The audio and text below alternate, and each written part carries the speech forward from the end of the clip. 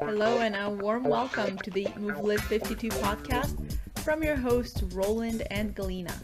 I'm Roland, and I am a skill based weight loss coach who lost 110 pounds myself 17 years ago, kept it off ever since, and now I help my clients and readers to do the same.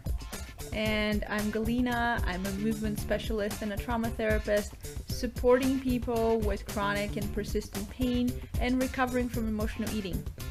This is your first time with us, head on over to eatmovelive52.com slash podcast guest, get your free download, and uh, see how you can work with us.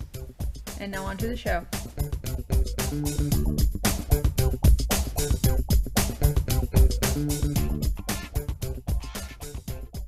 Hi, and welcome to the Eat Move Live 52 podcast. We have a very special guest with us today, but she'll be a surprise for another two seconds. Um, Susan McLaughlin is a physical therapist specializing in men's and women's pelvic health. Her private practice is in Salt Lake City, Utah, but she also has a wealth of information online where some of you might have already met her. Here's what I took from her website. I've been practicing physical therapy since 2001 in 2012, I transitioned away from major medical healthcare system to holistic and eclectic collection of skills, all of which fit under the title of my business name, Align Integration Movement. I love her business name so much. As a practitioner, I meet each client with the empathy and compassion that I too have sat deeply embedded in the suffering of pain, and I've been able to transform my body, mind, and spirit to get out of it on a personal note, Susan is somebody that I met in my restorative exercise specialist training. And um, I have to say that in the whole res community, there is no one that I have more love and respect for. And it just mm-hmm. gives me chills that you can be here and talk about Movement Myths episode. And thank you so much for coming on and welcome. thank you. Wow, that um, it's always nice to sit back and receive so I appreciate yeah, that. Yeah, absolutely. We've known each other for many years now, and it's so interesting because I see you a lot more than you see me because you have such a wealth of wonderful videos online. So there's so many mm-hmm. videos that I send my clients all the time. Oh, great. So oh, your voice it. and your body are uh, in my office a lot more than probably I am in yours. So I always say like, "Hi, mm. Susan," you know. yeah, that's it's great. so neat. And I have to say that your way of delivering information online is so accessible and clear and it's just so easy to learn from somebody who's that well educated but who also embodies it so well so it's an honor that you said mm. yes to come on the podcast oh thank you i was really pretty giddy when you asked and i'm always wanting to be able to have a chat yeah. with friends and since you know listeners unless they're podcast hosts themselves rarely know how all these come about but this happened naturally on facebook a couple of months ago i wrote an article that was called something like should i hold my abs tight while dancing and i posted it and you shared it and you said like yeah it's time that you know we start addressing these myths more and more and i said oh who better to invite to talk about movement myths than you you've been in this work mm. for a long time and you have stepped out of the mythical lands into the more holistic lands and i feel right. like you're you're such a great person to answer some of these questions uh, but before that can you tell us a little bit about your inspiration to practice physical therapy the way? Hmm. You know, before I even got into doing the the track to study physical therapy, I'd always had a fascination with the human body on many different levels.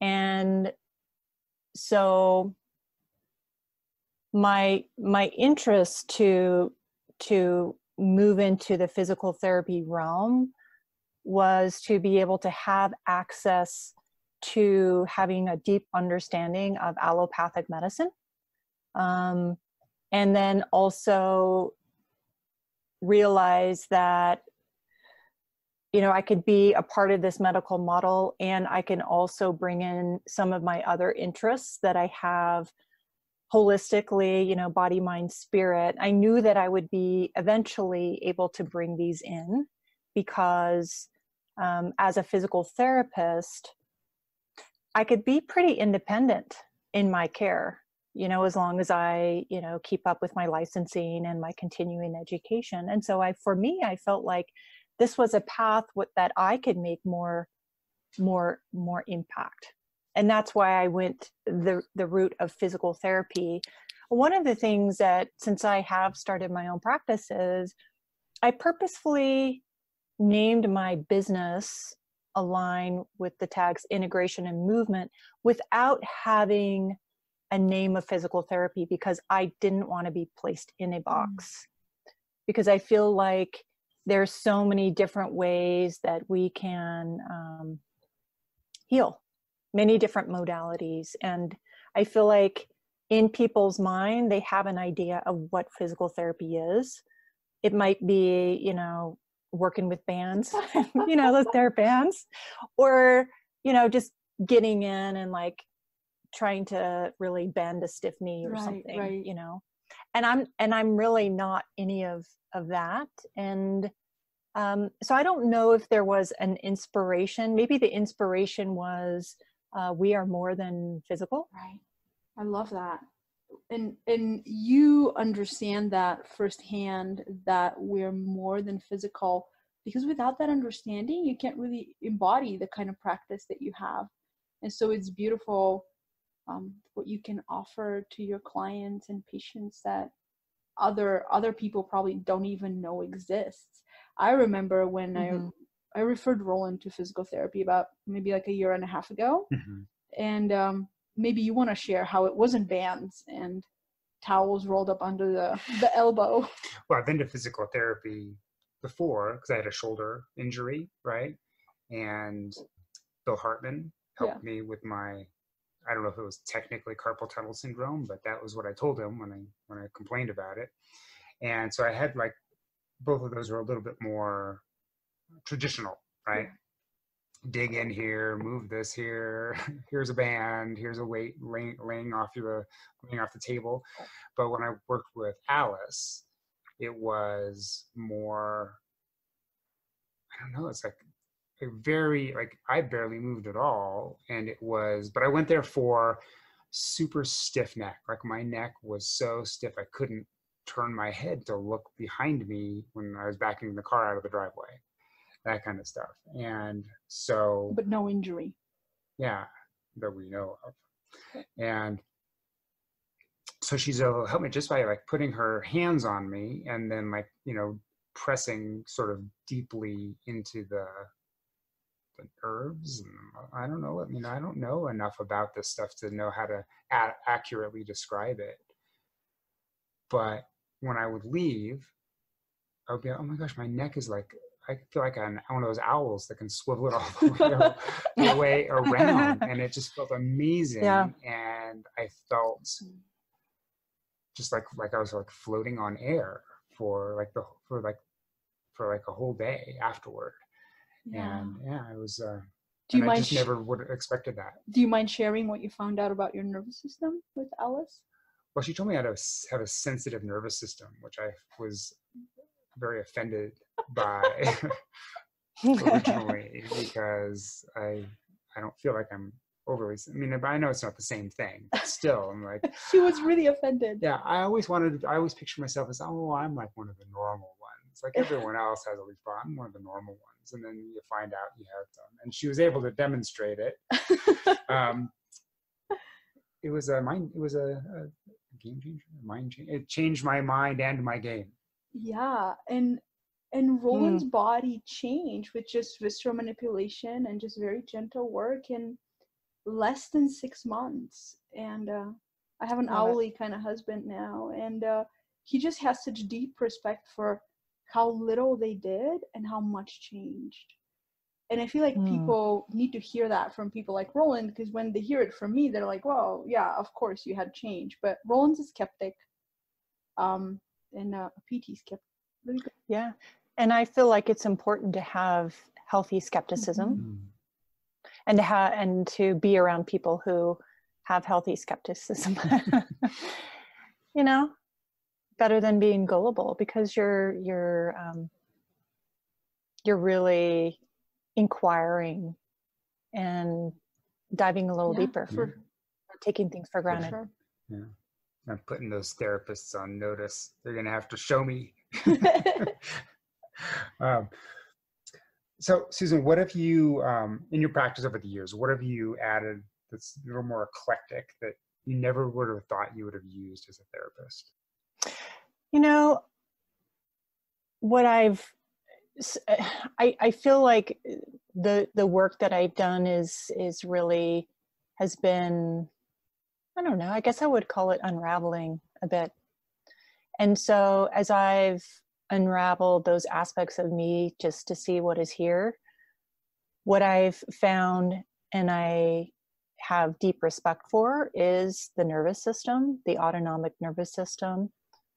And i never i never uh, thought that i would bring in that aspect so deeply into my practices. I remember being in a pt school and having a person come speak to us and he specialized in chronic pain. And i was like ah those people are going to be the hardest people to work with you know? And and honestly what i find is uh, there that that area of chronic pain does not scare me. And i feel like that is because i am um, tending more to the nervous system. And in fact last year i was drawn to the work of kathy kain. And galina i know you've studied with Mhm. kathy kain. And her practice is called somatic practice. And i don't have a background or certification in somatic experiencing so i wasn't able to take some of the courses that she offered but she did offer kind of a one-off uh, single training she called them and it was in relation to um, touch skills and working with the organs of stress. So using touch skills to work with the organs of stress to to allow for change in the nervous system. And i took that weekend training and my mind my my system was blown in a very good way and i brought it back to my clinic and i've been using it all year and i've seen big big Mhm. changes so i never thought that that would be be even a, a niche really and um, I I'm I'm fascinated by the nuance uh, of of our nervous system and and and like you were saying, Roland, you know, just that little bit of motion, maybe even a little bit of touch, really shifted your system, and so it's it's um the subtle work is very expansive. it, it, it really has done so much for me um, touch skills has been just monumental in my journey as on the receiving Mhm. end and on the giving end i feel like it puts the practitioner in this space where you really learn to trust the unfolding of Mhm. health um, in a way that's non-manipulative but it's just very Right. intelligent and um, you can really accompany somebody on the journey and it sounds very esoteric when you haven't received it and people feel like oh you have to be you know um, you have to have practiced this forever but in our classes i spent two years with kathy and steve and 95% of the people taking those classes are psychotherapists they have no clue how to touch a person you know maybe like Exactly. they have kids that's helpful but Mhm. you know outside of that they sit like five feet from their patients because you know psychotherapy is a very interesting field as far as touch is concerned and so they just rocked it just because they with people Yeah. and i've taught roland how to do brainstem holds and adrenal holds and and he does an incredible job. And he's like i don't know what i'm doing. Yeah. And you're just sit here and don't worry about me. And my body's going to figure it out. And he's done like hour and a half long brainstem holds for me you know? Mm. and uh, my touch therapist says roland's a saint but I can't believe we have that on recording now. He's sensitive and a Yeah, saint. there you go. A I'm sensitive saint. down. 14 minutes into the podcast. so I'm very curious, Susan. I I came from Eastern Europe, and I had a very different client population there. I also had different skills, so I might not be have seen what I have the skills to see now. But I'm wondering, mm. like even in the eight years that I've been in the United States, I've seen a a change in the kind of complaints that people have. Um, I'm wondering, in all the time that you've practiced, have you seen a change in the kinds of complaints and conditions people come to you with, like more autoimmunity or more chronic pain or more, more pelvic floor disorder, more pelvic pain? Uh, and I understand that's very mm-hmm. different from a therapist to therapist based on the kind of clinic. But in your population, have you seen a change? I definitely see themes mm-hmm. in in the in this um, time span. The big theme is adrenal fatigue and thyroid mm-hmm. issues, as well as gut disturbances. Mm-hmm. Um, that people are negotiating along with a pain mm-hmm. syndrome. And um, and I know this is your your line of work too and i've i've uh, also seen you know in the history uh, quite a few eating disorder history of eating disorder. And so now now that i know more about our nervous system regulation i do have more of an understanding that they're maybe in different parts of the body. Um, but we're really looking at this this regulated nervous system is going to have good metabolism it's going to have a healthy mm-hmm. gut and it's going to have healthy hormones mm-hmm. and so i i do feel that that those those distresses in the system of people who are coming in um, definitely need some tending. So there's that route. And another thing, and I'm see I'm sure you see this a lot too, Galina, is uh, hip impingement. it's so huge, huge right now. Hip, hip, hip. Mm-hmm. Whether it's like, you know, bona fide like labral tear mm-hmm. or just like a sticky mm-hmm. joint it's just a really big hey that's that's so thing. ass attached you know mm-hmm. i find with technology i never used to have clients that had thumping like i had not worked on a single thumb like i've been in this work for 17 years and like since the iphone 6 came out mm, like it was literally mm-hmm. like the 6 came out and the thumbs started coming in like I've had clients mm. who have had thumb surgeries and middle finger surgeries, which are always funny to recover from because you have that funny bandage in the middle and you get to laugh about it. Um, and and a lot of uh, lower arm elbowy kind of stuff. And mm. it's like, well, like you're attached to this device that you have to hold in your hand in this really awkward way, and it's heavy. It's got EMFs in it, like all these things that um, that mess can mess a hand up but also these uh, fitbits and smartwatches like i have clients that are super sensitive to the light that's on the bottom yeah. that lights on the skin mm-hmm. and uh, that's where yeah. black rock tape comes in very handy you just like, tape it over mm. but i've had people with like tendonitis under it and so just thinking about all the disruptions in the emfs and the wi-fi and how all of that affects us and then the constant still and so our poor systems yeah. are either in fight or flight or in shutdown. Like there's no safe and social soft vagal place for people to restore and heal. And then they just want to come to us to fix. So that's what I've seen change. Mm-hmm. The era of the thumb. John Sar- John Sarno yeah. says in the Divided Mind that these conditions come in phases and they become like he calls yeah. them fashionable i think or like something like that like do you remember when everybody had carpal tunnel yeah yeah i remember um, him saying you know uh, not a lot of people will talk about reflux or they'll um, now it's what more well known that reflux is associated with stress and so it's not as as fashionable mm. anymore you know, to to Because have when you that. were just overeating and eating the wrong stuff, it was easy to just take a pop a pill. it was- and- right. Right. And nothing Yeah. pisses my clients off more than their doctors telling them to reduce their stress. Like if you really want to piss off somebody, that's that's advice that you can use. Because people Mm. don't know how, or like, or like I'll post a lecture somewhere in one of my groups with Gabor Mate or any of those people, and I'll have people like, I hate Gabor because he tells all the right stuff, but he doesn't he doesn't tell you what to do, and it's like it's not. Yeah. There's nothing to do.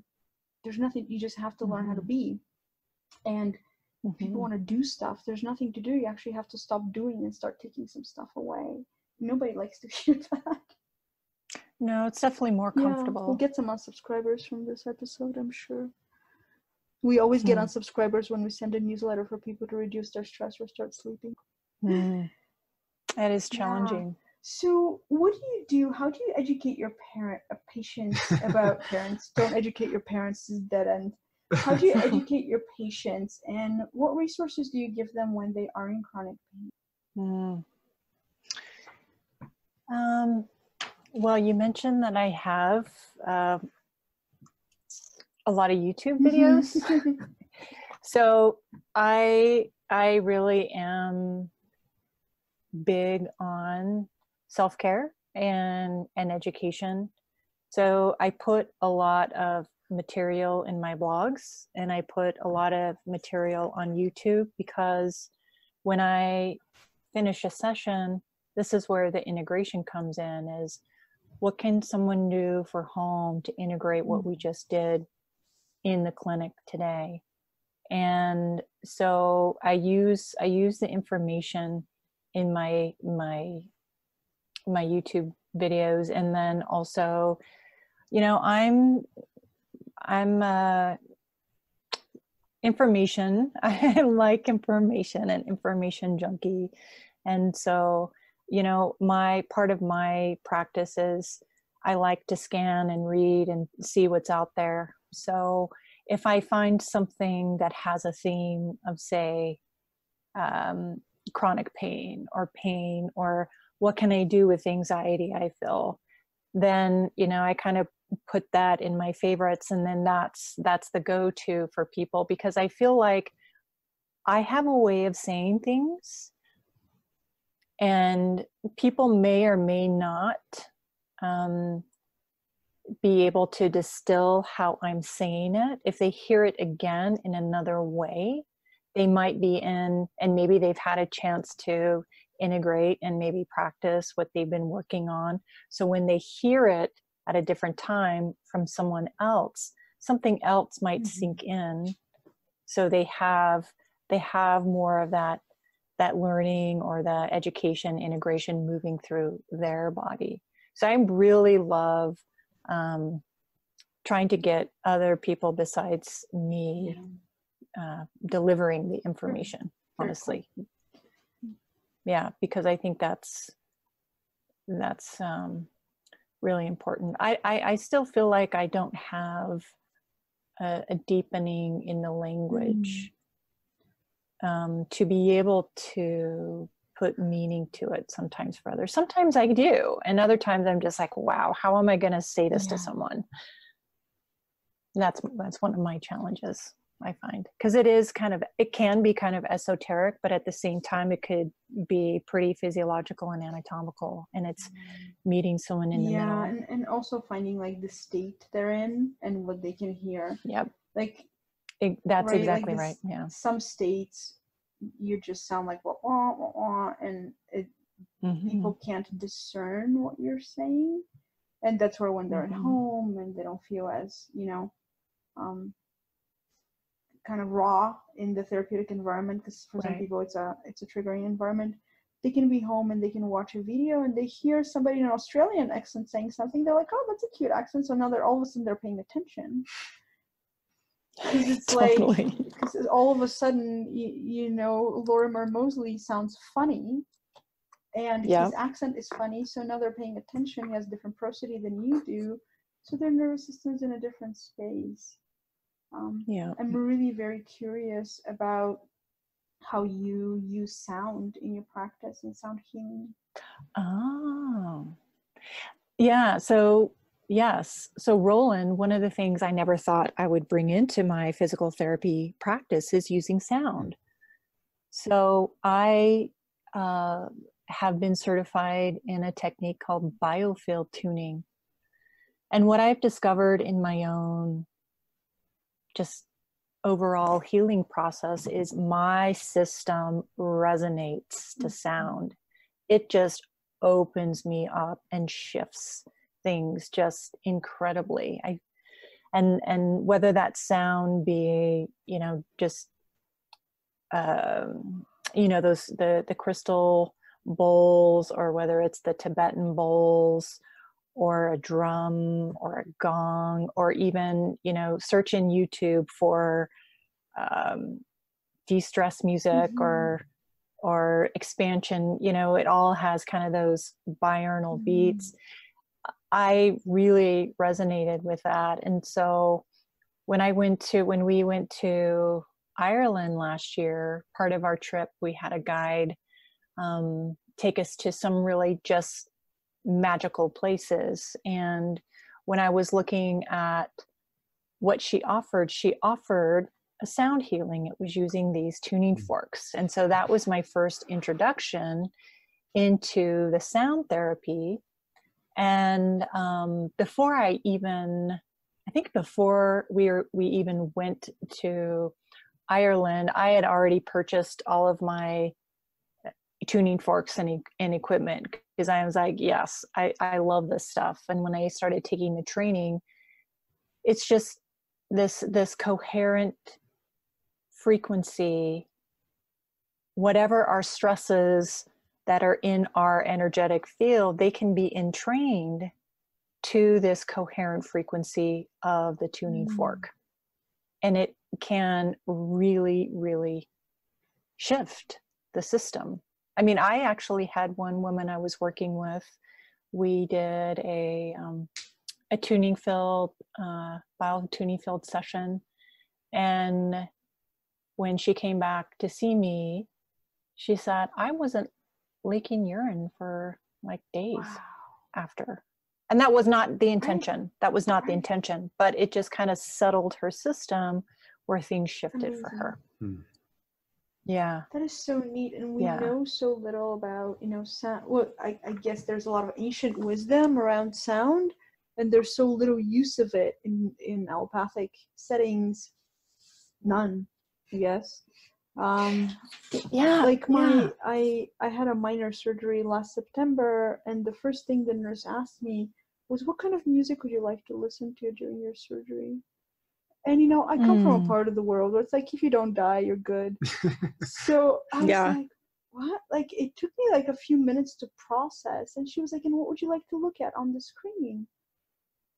And wow. um, my my surgeon and I are trained by you know you know Lois. We're both trained mm-hmm. by Lois. Yeah. And so we had some common language around nervous system safety. And he was like, where would you like your heavy bag on your belly or on your chest? And it was a great experience, even though it was a very stressful mm. surgery and my body was very stressed out. But I had this containment around me that I could have something safe to return to. You know, it wasn't like I'm going to go down the spiral and not come back out. And even though yeah. my heart rate dropped down to 30, I was able to get myself mm. out of it because I had enough safety around to come back to. It was very cool. That. Hey, if you enjoyed this episode with our friend, physical therapist Susan McLaughlin, be sure to stop by the show notes at eatmovelive52.com slash Susan and grab your free download, Gentle Regulation Exercises for Times of Tension and Discomfort. We put it together just for you. We know you're going to love it. And uh, be sure to stop by and let, let us know what you think. eatmovelive52.com slash Susan. So, in your own journey, you you, you yeah. kind of got into this a little bit and were influenced by your own pain, right? Yeah. Definitely. So how has uh, that been a key, and how have you like learned from your own experiences and uh, brought that into your practice? Mm-hmm. For me, I I was in chronic pain for ten years, low back pain and hip hip pain, and that hip pain was what I would say is like kind of that classic SI joint instability, you know, that feeling where like everything is just seizing up and you just can't take Mm-hmm. the step. Very similar to what a lot of pregnant women will Mm-hmm. experience with uh, pubic symphysis issues um, in, you know, the third trimester. And I feel like when I, um, I want to say take take my healing into my own hands, you know, because I always look. I think I was, I was so much in my suffering. I was looking for that magic bullet, you know, that one one stop shop. It's that one session that's magically gonna, you know, take take everything away. So that's kind of that zone of searching, and actually what ended up happening is when i uh, dove into the pelvic health specialization and i was doing the training for that i was really kind of in overwhelm because i'm like oh wow. It's like not only am i working with the musculoskeletal system i really need to know the urinary system the bowel system the digestive system the reproductive system hormones like i was like whoa. So i was just like reading reading reading reading. And that's when um, i had fallen into the um, the katy bowman information mm-hmm. about um, the no more kegel stuff. Because i had at the time clients who did really well with some of the traditional pelvic health you're doing 100 kegels a day and there were you know half of them weren't getting any better i was like what's going on here? So i wanted to figure that out. And so when i saw her material and i literally i read every one of her blogs and i gathered as much information as i could online. And then when i saw that she was teaching her program in in ventura for the last time and this was before it launched fully online i was like i'm going to go study so I was learning all this new stuff about alignment and um, objective markers. And in the process of doing just the stuff at home on myself, Roland, that's when I got out of pain. I was not intent in the suffering of pain. I was in the spaces in between. I was in the process of just discovery and I got out of pain. So for me, I was like, yeah, I'm a cheerleader. I'm a cheerleader for this process. I loved being a teaching assistant, and Katy's amazing. I mean, her whole program is amazing, and I learned so, so much from her. Um, and I, you know, looking back, I realize it could have been something else. Mm-hmm. But what what was beautiful about me getting out of pain in that experience was that it wasn't her it wasn't necessarily her exercises it was what that that space. I was i was out of the pain space i was out of the suffering space and i was just learning. I was curious i was having fun with this work and i was applying it to my body and then i got out of pain. So i realized that you know well just from doing a lot of the work i was carrying a lot of tension. Mm-hmm. so there's undoing like you were saying earlier galina some of this undoing and the the you know taking things off layer by layer by layer to really get to what is here in the baseline yeah. then you can really get a sense of what is that movement like there's the strength mm-hmm. now you know there's a strength because you're actually getting movement in the system so that was kind of the first step and realizing that a lot of that that pain was driven by so much energy in my nervous mm-hmm. system you know so much um, fear energy and tension energy it's just that gripping gripping yeah. gripping and so as i've been able to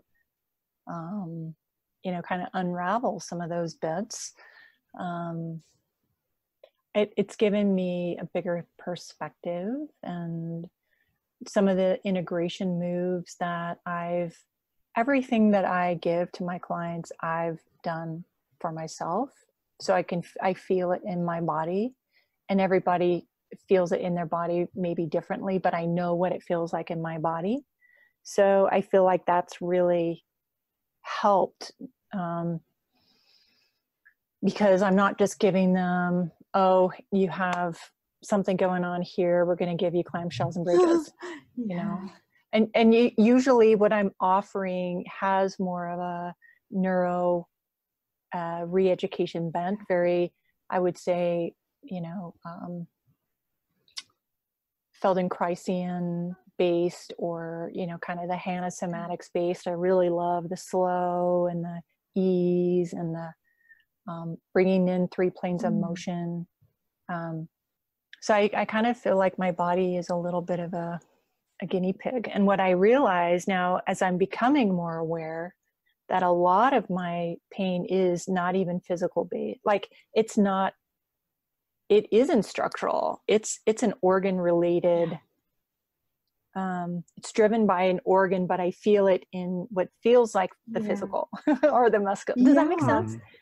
so it's like oh you know i i like when someone describes what what's going on in their body and you know bending over is just like super uncomfortable you know a lot of times it may it it might just be something going on where the kidney and the adrenal they really just need to be supported That is definitely the case with me. I, similarly to you, came to uh, Katy's program after it was 20 years of low back pain. And then Mhm. my pain resolved during my training. Um, like Yeah. during the year that I took to learn her program. Um, that's also the the year that I I stopped uh, owning my own practice, and I just spent a year learning. I was just Roland Mm. uh, brought home the the bacon and the eggs yeah and the kale and uh and i i got to just learn and adapt to life in america and kind of just like re- let my body sleep and uh i remember during my uh, certification live week for the first time i felt what it's like to have a body with less tension and i thought all the Yeah. tension was gone it wasn't until years later that i actually felt what that was like so that first thing wasn't it but when I came Yeah. to a second certification week, I came not to learn more, but to get that feeling again. Couldn't get it Mm. because that layer of tension Yeah. was already gone, and I was so mad. I was like, I want it gone Yep. again. Like I wanted to strip another layer, but to strip another layer, I had to go to my nervous system and to the way that I um, interacted with other bodies.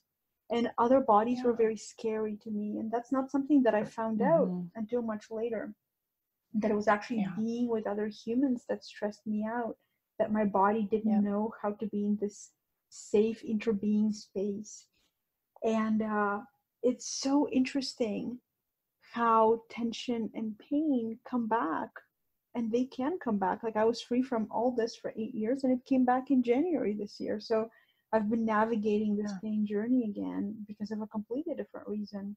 So kidneys and Mhm. adrenals and all of that. So it's been very very interesting to see how it's not like okay i'm done it's like it's like no you're in this river and you Coco can go in the same river twice and there's going to be some rough spots as long as you're alive and you can meet them with with grace and openness and vulnerability. And so people like you and me i feel like as our bodies are the canvas we can become better teachers out of it. I think so. I know mm-hmm. so. So i want to pull out the big guns and get to Yeah. the get to the common myths in pt and i'm going to start with the one that pisses me off the most which has Yeah. a place but it has been generalized so i'll have people who come to me with low back pain and they cannot relax their belly and they usually have low back pain and constipation and incontinence and they cannot relax their belly and so they say well i learned how to do this for my back 20 years ago and i've been sucking in Yeah. for 20 years and there's some of them that'll show me these fancy ways of sucking in and up like they'll actually engage their pecs to pull up Oh, wow, too yeah. i'm like nice pecs um, and it's just weird because it's not reflexive Yeah. it's voluntary it's like a made up movement pattern It's like that stomach vacuum um yeah, that the kind, Yeah. fitness people do, that the, the bodybuilders do. Kind of yeah but imagine with the pecs like if you could just pull that up with your pecs it's so fancy so so susan where does this come from where is there place for it and where does it become potentially not You know, I really, you know, the story, The Emperor's New Uh-huh, Clothes, yeah. where um, it, it takes someone to say, You're not wearing clothes. uh-huh uh-huh Right? uh-huh. And so I think I think what's kind of happened is people don't want to do the wrong thing. And so oh yeah i need to i need to make sure to tell people to brace before you move. I i honestly i i honestly don't know. I think i think some of the studies that came out um, with paul hodges and i don't know the um, what year that came mm-hmm. out um, that was where they were able to measure the pre-activation of the deep abdominal muscle and the the diaphragm to arm movement mm-hmm. and so that that pre-activation it's it's um you know i don't know if that's kind of where that that pre-activation come from where i can i can see that there is a place to to teach your system how to go active to tension to the task but what happens is is people when they're going to prime their system to tension to the task they've lost it because they did that big that big mm-hmm. bracing mm-hmm. so that's that's one piece where you know i can see where it it could be a good thing to establish maybe uh, that pre-activation pattern where it's just not happening so you want to work on maybe that timing and the coordination. And so in that in that piece where say for instance i'm going to you know lift um, i don't know let's say like like a deadlift mm-hmm. or something. No let's not do it to a weight. But um getting out of a chair. So getting out of a chair, like bending tasks typically do have, you know, higher higher pressures down down into the the pelvic organs and out into the abdominal wall. So maybe priming the task where rather than just bracing and holding or tightening up and then going to move, maybe a person can make a sound like a mm-hmm. shh you know where where there's some tensing happening but it's not the over tensing. So the muscles are maybe going in an appropriate direction for the task and they're guiding it a little bit. Yeah. but honestly i think what what what's happening is someone or some body of knowledge started this whole thing of you just need to tighten up and hold it on because I think sometimes when someone's in discomfort, people will say, Oh, it just feels best when I'm holding tight mm-hmm. and I'm mm-hmm. protecting. And then that stays the pattern. Right. Like if somebody with, um, you know, some hypermobility in my lower back and some SI instability and a, a, a lifetime of low back pain, for me, what was really helpful was to go in a posterior tilt and like really flatten mm-hmm. my low back before I load. Mm-hmm. But that was mm-hmm. the only way I could do load. So I hurt in every other situation. Roland and I just went to boot camp, uh, and the teacher had us do like um, dying bugs and some stuff on our backs. And she was like, make sure yeah. that you're really pressing and pushing your low back into the ground. And yeah. I look around, there's like 40 people. They're like digging holes into the grass, you know, with their lumbar yeah. spine, and that's not appropriate pressure, especially no. for a dying bug, which has therapeutically this completely other set of circumstances that you know you need to have certain structures aligned and certain structures holding and certain structures moving and a particular kind of breath so you've taken a dying bug out of context you've put it in a fitness program and completely butchered it um, and yeah it's perpetuated mm-hmm. it's it's taught and perpetuated and and then it just continues until someone will say well that doesn't make yeah. sense and it's the same uh, i feel like some of the some of our uh, problems are this kind of taking the sedentary population and trying to load a sedentary population with loads and skills above their load and skill level and so we're kind of like ban- trying to band-aid um, right. like this is what should be happening. So make it happen instead of how do we create the environment where this can naturally happen? And maybe it's not even possible anymore since so many people develop without natural movement right? So where Right. where is this ability? But it's the same i think if we can um, morph this into a kegel discussion it's the same with kegels where p- people ask me should i do kegels? And i'll say well let me refer you to a pelvic floor pt who will establish Mhm. what you need and then if you do if you do do need them then Yeah. um, then there's different ways that they can monitor through ultrasound what you're tensing, how you're doing it, how hard you should go, how long you should hold. You don't just like go and crank out a hundred in the bathroom Right. or s- laying down or or To- using Right. Tabata Kegels. Tabata Kegels or people are like, should I get one of those eggs? I'm like, um, not without going to physical Yeah. therapist first. This is why these Right. people go to school and specialize and they have equipment. You can't just like wing it. Like with the body, people are like, I'm just gonna run a mar-" You can't just wing it. I mean, probably you could if you grew up on a farm or something, but I think most modern people can't just wing it. Right. And, uh, you know, I really do feel like it is a lot easier to do something, right? It, it's easier to say, well, I'm going to go get my biofeedback unit and use my probe to do my Kegels so I know what I'm doing. Or I get the, the yoni mm-hmm. eggs. It, it gives someone something to do rather than working with someone on how to be. And that's the challenge. And that's the scary part because to really dive into, as you were sharing earlier, being, this is a whole uh, mental, emotional behavior change that that is required in the entire system, in the organism. And that can be really scary. Oh yeah, you're you're gonna we're gonna ask our our clients slash patients to get rid of their operating system and get a new one. You know, Right. and it's like we have to be very gentle with that and not make anyone Mhm. wrong for having a nervous system that helped them survive. Good job, you're here. Exactly. And then what do we do? What do we do later? Like for me, like I got incontinence when I was 16.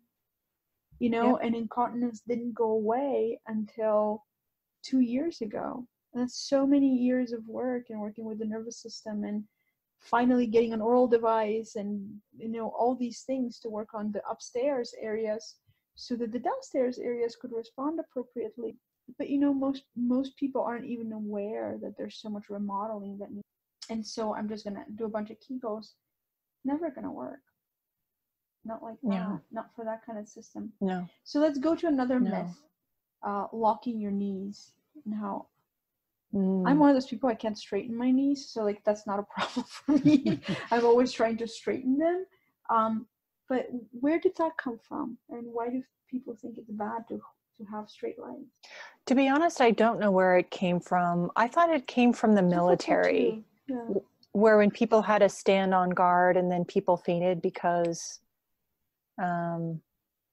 I'm not sure. I honestly, I don't know where it came Yeah, from. I always thought it came from the military. Yeah. And and the other one is uh, Um, like like martial arts, like Tai Chi and um, yeah, there's Soft a soft knees. knees, soft knees, but there's a very different reason for the soft knees. So yeah. so is it bad And- to lock your knees? What's your verdict? Um, the hyperextended knee. Um, it's not good on the joints for the long term. But see, that's the thing, Galina, is it's a strategy. right, it's a stabilizing strategy, yeah. It's a stabilizing strategy that someone has used and and and typically in a family system you know other people in the family have it too Mhm. and so um yeah i mean i just i i feel like if if i could be a fence sitter it's like we we want to be in that in between Yeah. and it's really about riding the wave as much as you can to find that balance and you have to know your edges know your edges so you know where center is Right. it's kind of that um, uh, what gary ward talks about in his aim Mhm. course you know finding center where are your edges let's go big go big to find that Yeah. middle Yeah. and and i and i Mhm. like that so don't don't hang out in those edges find that Mhm. in between Yeah, so don't go to never lock your knees and uh, never bend your Mhm. knees, but find the middle and find where those bones can be stacked in a way, if they can be stacked, that is the most um, kind of like natural for you, right? Because we have such big differences from person to person, um, you know, and people will come and be like, oh, in martial arts, I'm like, in martial arts, for like people that are five feet tall, you're like seven feet tall. you know, like there's such massive differences in how your body looks when you bend your knees like that. And who are you attacking? Right. and the and the last one is this kind of like um it's more in podiatry. Uh, I have clients that had like plantar fasciitis 20 years ago and they're still wearing either an insert in their Mm. shoe or they're always buying a tennis shoe that has a positive heel right because their podiatrist told them it's bad for them. And apparently, Yeah. Dr. Ray um, from Portland is not their podiatrist because he wouldn't say that. But uh, whoever got them better from their uh, plantar fasciitis is still like a voice in their head that says Right. never, never go barefoot. So like they're wearing shoes in the house. Like 20 years later, I'm like, how long ago your- was your Right. PF? 20 years later, earlier. Right. Like, "Wait, Right. you're doing Right. what the doctor said 20 years ago. It's crazy. You're still Yeah. rolling your foot on Yeah. a frozen water bottle too every night. So uh, you know i think galina you're bringing up fear Mhm. you know uh, uh, wi- with that we're just kind of locking everything in so you're we put it we put a little mini cast on with a heel left and that could get us out of a, sys- a symptom great let's take it out but then we get fear of something coming back Mm. and so we stay you know we stay in that pattern And the kind of and it's And like so- movement avoidance, yeah. exactly that fear avoidance exactly because it's like oh i don't i don't want that to come back yeah. Oh, I have a client that's like, I don't unload the dryer. Oh, why not? Well, because my, my doctor Yeah. told me not to. Well, how long ago? Twelve years ago. It's like maybe you should start unloading your dryer like one piece of clothing maybe at a time. So then I get like all these videos of like, am I doing it right? And it's like, oh my god. Um, it, and that's why play has such a good uh, use. Like I play a lot with my clients. We play with balloons and with like all sorts of uh, sticks and bouncy things and platforms and uh, so that we can we can get their system to be paying attention outside because there's so much attention inside it's like let's just play with a stick let's play with a let's play with spatulas and balloons and uh, um, let, let's just see what what silly thing we can do so that we can get you relaxed so we can get activation without fear you know and and fight or flight without fear is play right i love yeah. that So, Mr. Roland's gonna ask the next question.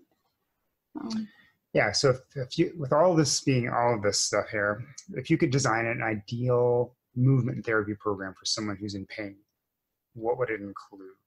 You know, what's something you would never include? hmm Um, that's a great question. I think what I would include is um, different modalities. mm. Oh, I love that answer. So I love if- it. I love it. If if if expense were not an issue, is that is that the Yeah, yeah, yeah, yeah. expense were not an issue? expense- all of a sudden, Um, insurance covers me.